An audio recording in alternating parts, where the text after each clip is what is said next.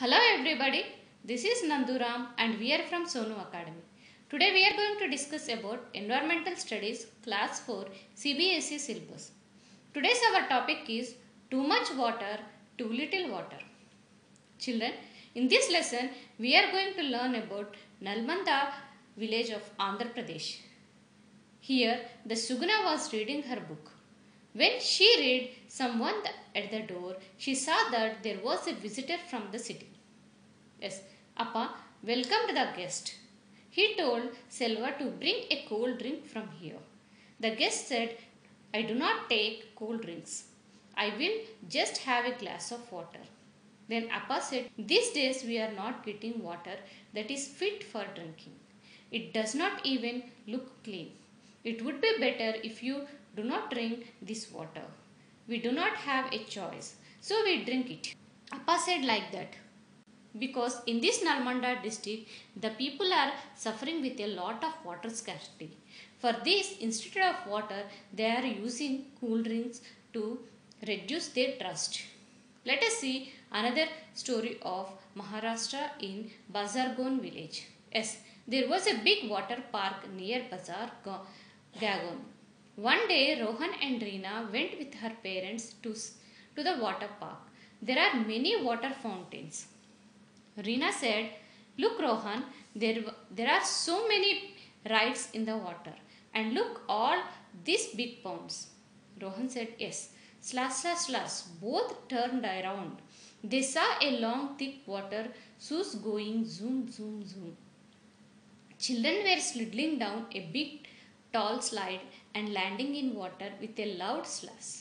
Rohan got into a swim high above, whoosh. Within a second, he had landed in water. Reena gave a strike of surprise. Just then they heard a lot of noise and lot of voices from outside the park. As everyone ran towards the main gate, there was a crowd of people carrying empty buckets and pots. A small child carrying an empty bottle was stealing to his mother. Rohan's mother went to one of the women in the crowd. She asked, What is the matter? She asked.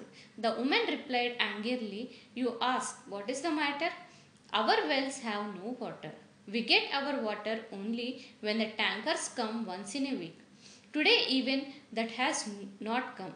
And here there is so much of water everywhere just for you all to play and enjoy. Tell me, what should we do?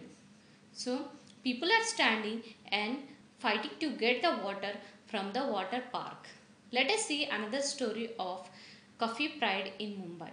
This is a small story of Deepika in the Mumbai, a village of Cuffe Parade. Yes, the lift stopped at the 26th floor. Deepak loves going in the lift. Today was a holiday in the school. Deepak had gone with his mother to Raizia's madam's house. His mother worked her there. The house was quiet and cool and shining clean. Rizia was reading a newspaper. He smiled when she saw Deepak. Is it is a holiday today? she asked. She switched on the TV and Deepak was soon lost in the world of cartoons. Raizia called off, Pushpa, it says in the newspaper that the gutter water has got mixed with the water in the drinking water pipes. In this area, it says that many people are at risk with diarrhea and vomitings because of this. Why don't you throw away the water that was filled yesterday? Put some fresh water to boil for drinking. Also to take home some boiled water for your family. Deepak was very happy to hear this. He thought, at least today I will not have to stand in a queue for hours to get water for her home. It is really a holiday for me.